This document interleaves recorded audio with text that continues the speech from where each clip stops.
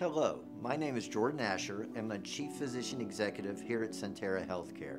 I'd like to share a few words with you today about COVID 19 vaccinations. Science is a journey, so there are plenty of times where you learn something that in fact changes over time. For example, the question has come up well, the mRNA vaccine is brand new, therefore it can't be good. As a matter of fact, mRNA vaccinations have been in the works for the past 15 to 20 years. Hundreds and hundreds of millions of doses have already been given. It has been shown to be safe in uh, those that are 12 and above. It has been shown to be safe in those that are pregnant. It has been shown to be safe in the elderly. It has also been shown to be very efficacious.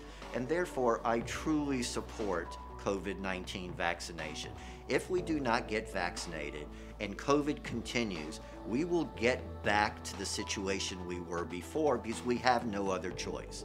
Because we won't have any other way to keep people from not only being in the hospital and dying, but from having long term effects of COVID. This is a matter of keeping ourselves healthy. I know you might not worry about yourself but you ought to be worrying about your loved ones because I know they worry about you.